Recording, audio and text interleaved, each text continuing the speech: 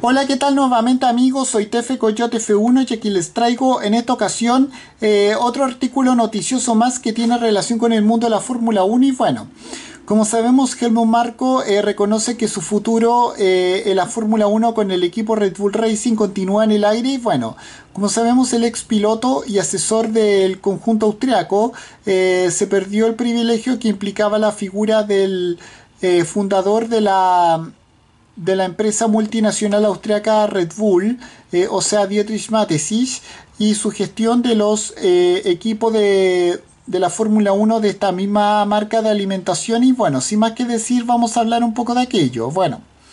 Como sabemos, Helmut Marko es una de las caras y personalidades más reconocibles dentro del paddock de la Fórmula 1, no solamente por su forma de expresarse públicamente, sino también por ser uno de los eslabones más emblemáticos en la cadena que sostiene la estructura de la entidad Red Bull en la Fórmula 1. Y bueno, eh, con esto, eh, en el que en su día llegó a ser, eh, llegó a ser piloto de la Fórmula 1 fue conocido por largos años, eh, director de la academia, asesor como enviado especial del dueño y fundador de, la empresa Red Bull, fallecido el año anterior, Dietrich Mateschitz. Y bueno, con esto todo lo bueno eh, llega a su fin y en el caso del Dr. Marco, la muerte de su amigo y magnate detrás de la empresa Red Bull sentó un panorama visiblemente más decantado para Helmo, al mismo tiempo que, que, más complicado para justificar su presencia, entendiendo las funciones del austriaco dentro de lo, del organigrama que ahora dirige Oliver eh, Mintzlaff, eh, nuevo director del área directiva Red Bull. Y bueno, por todo ello, eh, Marco aprovechó el final de temporada para ofrecer más actualizaciones acerca de, acerca de su futuro, luego de haber admitido la posibilidad de tomar la senda a la retirada, al mismo tiempo que dar cabida a la lucha de poderes entre él y Christian Horner dentro de la cúpula del equipo Red Bull Racing en la Fórmula 1 y bueno, así el asesor del, conjunto campeón mundial eh, se expresó eh, con su franqueza habitual sobre unas decisiones sobre unas decisiones acerca de su futuro que ponen eh, que podrían tomar forma en los próximos días y bueno esta semana habrá conversaciones, las decisiones aún están abiertas, incluido lo que haré a continuación. Mi contrato actual dura hasta finales de 2024.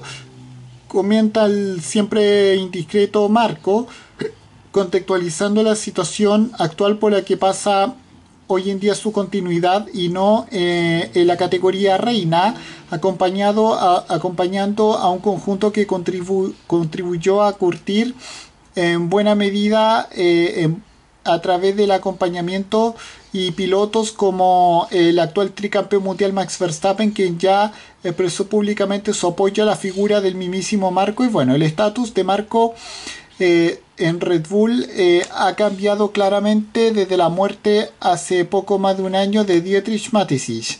Eh, ahora hay un vínculo ampliado de gente que incluye a Mark Mateschitz, los tailandeses y Oliver Mintzlaff. Eh, la forma que pudimos decidir las cosas con Dietrich fue única. Eso reconoce el famoso doctor. Eh, eso había reconocido el famoso doctor que no puede verse menos que mirar con melancolía eh, a los días pasados y una, y una relación más familiar que no va a volver a encontrarse en el paradigma actual. la Fórmula 1 impuesto por, por el cambio de tiempo, pero también por las nuevas manos que tienen su poder moldear al equipo Red Bull Racing eh, a pesar de su eh, demostrada eficacia. Bueno, este es un tema complejo.